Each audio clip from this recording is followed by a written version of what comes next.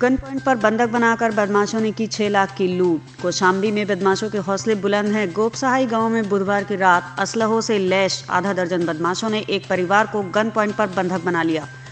परिवार के सदस्यों के विरोध करने पर बदमाशों ने महिला समेत कई लोगों की असलहों के बट से पिटाई की। घर में रखा सोने, चांदी के जेवरात व नकदी समेत कुल छह लाख रुपए की लूटपाट कर बदमाश फरार हो गए। सूचना के बाद पुलिस मामले की जाँच में जुट गई। घटना कोशाम्बी थाना क्षेत्र के गोपसहाई गाँव की है, जहाँ आधा दर्जन बदमाशों ने संतोष त्रिपाठी के घर पर बुधवार की रात धावा बोला और परिवार के लोगों को बंधक बनाकर जमकर पिटाई की। बदमाशों ने घर में रखे सोने चांदी के जेवरात व नकदी समेत करीब छह लाख रुपए की लूट कर फरार हो गए। घटना के बाबत एडिशनल एसपी अशोक कुमार का कहना है, भुक्तभोगी की तहरीर पर मुकदमा दर्ज कर मामले की जाँच की जा रही है। जल्द ही घटना का खुलासा कर बदमाशों को जेल भेजा जाएगा। सर हम आके दबा लिए। उन्होंने और दबा के मारने लगे।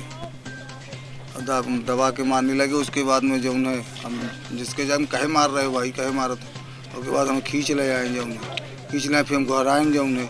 दौड़ी आओ दौड़ी आओ दौड़ी आओ तो एक आदमी जलर आया फिर उसको भी मार दिए सर। ओ उसको मार दिए तो वो भी जो उन्हें फिर वापस चला गया। कितने लोग रहेंगे? छः सात आदमी रहे साहब। ये अंदर है। की? हाँ की? छः लाख की हुई है। क्या क्या हार गया है। माधवेंदी गया है झुमक गया है। माधवेंदी गया है और पायल गया है बिचुआ गया है। थाना कौशाम्बी के गाँव उपसहाय में रात में एक चोरी हुई है और ये सूचना मिली कि उस चोरी के पश्चात जो है उनकी पिटाई भी हुई है।